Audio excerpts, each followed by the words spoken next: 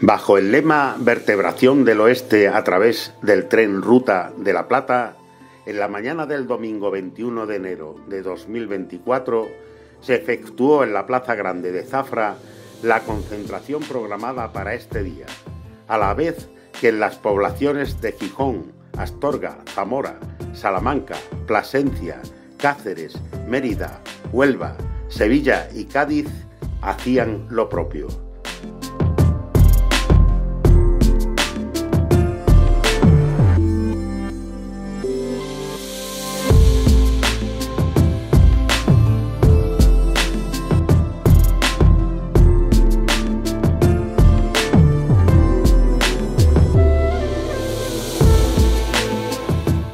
Durante las concentraciones se dio lectura a un manifiesto con las peticiones de las diferentes plataformas y colectivos que reivindican la recuperación y potenciación de la Ruta de la Plata. Igual que en otras 11 ciudades del oeste peninsular, del eje antiguo, antiguo y moderno, claro está, pero histórico, la Ruta de la Plata, que unía Gijón con Sevilla eje vertebrador del oeste peninsular, siempre lo insistimos y siempre lo remarcaremos. La red ferroviaria, como otras redes actualmente bien conocidas, por ejemplo Internet, se basa en el mallado de la red, en la multiplicidad de las conexiones. Si no hay multiplicidad, las conexiones no son efectivas porque puede haber muchos cuellos de botella, que es el que ahora mismo sentimos y sufrimos a través de Madrid. Todo pasa por Madrid. ¿Qué, es lo que pedimos? Ahora el señor alcalde y yo mm, resumiremos en un manifiesto común de todas estas ciudades que estamos concentradas, resumiremos esas peticiones. Manifiesto Tren Ruta de la Plata, en la red básica ampliada 2040, 21 de enero de 2024. Las organizaciones que promueven estas concentraciones, cargadas de razones durante años, seguimos reivindicando ahora más que nunca la reapertura completa del itinerario ferroviario conocido como Ruta de la Plata así como su pertenencia a la red europea de transporte en la red básica ampliada. Esto es, su inclusión en la planificación europea y ejecución antes de 2040. Desde su creación por tramos a finales del siglo XIX hasta su cierre definitivo en 1996, fue considerado eje estratégico y trascendental para las comarcas del oeste peninsular, gran parte de ellas constitutivas ahora de la España vaciada. Eje que, de norte a sur, enlazaba viajeros y transportaba mercancías vitales para la economía de cuatro comunidades, tres capitales regionales y nueve provincias, además de varios puertos de mar importantes. Decaer y arruinar esta comunicación ferroviaria ha sido uno de los grandes errores socioeconómicos del país, más aún cuando los gobiernos sucesivos, lejos de rectificar y reparar el error, persistieron en cuestionar su oportunidad e importancia. Tras, las reiteradas declaraciones de emergencia climática que abogan por una reducción de gases contaminantes, esta reapertura del tren entre Plasencia y Astorga resulta incuestionable, porque el planeta y la sociedad exigen eficiencia en el transporte de viajeros y mercancías y enfriar el planeta, dándole prioridad al ferrocarril público frente a otras formas de movilidad, en concreto el transporte por carga. Las plataformas que suscribimos esta demanda por la reapertura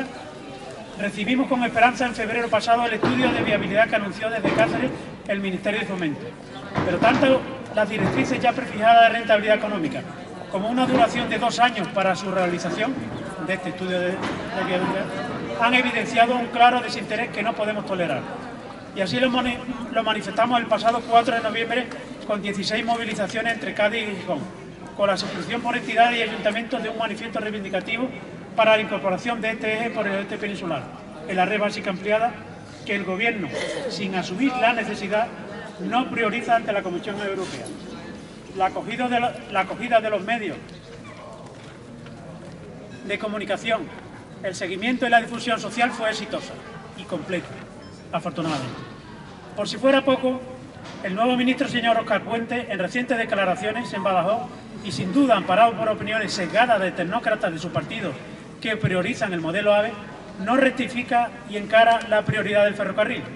que son las inversiones en servicios de cercanía y los de media distancia. Y se recrea en afirmar que este proyecto de reabrir la Ruta de la Plata está en pañales. A continuación el alcalde nos va a concretar las reivindicaciones generales. Muchas gracias. Lograr un mallado de la red por Andalucía, las dos Castillas y Portugal, la cornisa cantábrica y Galicia es lo racional y deseable para las comarcas deprimidas y vaciadas. Así no, señor ministro, y por eso la sociedad va a ejercer masivamente su derecho a manifestarse exigiendo la inmediata reapertura de la Ruta de la Plata y su inclusión en la configuración final del corredor atlántico europeo por el oeste y el norte peninsular. Las entidades convocantes manifiestan la urgente necesidad de que el Gobierno de España solicita a la Unión Europea la inclusión del corredor Ruta de la Plata en la red básica ampliada del corredor atlántico de la RTET e europea ante la urgencia que supone la próxima aprobación del nuevo Reglamento Europeo para el Desarrollo de la Red Transeuropea de Transporte. Los respectivos presidentes de las comunidades autónomas de Andalucía, Extremadura, Castilla, León, Asturias y Galicia, en una acción conjunta, realicen una manifestación pública de reivindicación expresa de la inclusión de la Ruta de la Plata en la red básica ampliada del RTET e y se lo transmitan así al Gobierno de España. Todos los representantes de los distintos partidos de las comunidades citadas en el Congreso de los Diputados promuevan una proposición no de ley en la que se solicita del Gobierno que realice la citada petición a la Comunidad Europea y que habilite los fondos necesarios para que, en paralelo al estudio de viabilidad recientemente encargado, se inicie el estudio informativo de aquellos tramos que han visto ya suprimida la circulación ferroviaria. La Comisión de Transporte del Parlamento establezca un equipo de seguimiento del proyecto de reapertura de la Ruta de la Plata, el cual informe del estado de situación del mismo a los colectivos de la sociedad civil que lo demanden, al menos trimestralmente. Este manifiesto lo suscriben los colectivos Corredor Oeste Ruta de la Plata, Plataforma Extremeña por el Tren, Movimiento Tren Ruta de la Plata, Coordinadora Estatal por el Tren Público, Plataforma Ciudadana No al Muro, Red de Autónomos, Asturias por el Clima, Asociación Cultural Ferroviaria Berciana, Asociación Ferroviaria del Reino de León, Plataforma Salmantino en Defensa del Ferrocarril y Asociación Ferroviaria Zamorana. Debo decirles que, por supuesto, los representantes municipales que pertenecemos a los grupos políticos que estamos aquí concentrados, también manifestamos nuestro apoyo indiscutible a esta legítima reivindicación que tiene como objeto aspirar a que se vertebre con medios de comunicación, por supuesto del siglo XXI, a regiones deprimidas, a regiones que necesitan en el transporte un aliado para su desarrollo. Reapertura de la Ruta de la Plata ya.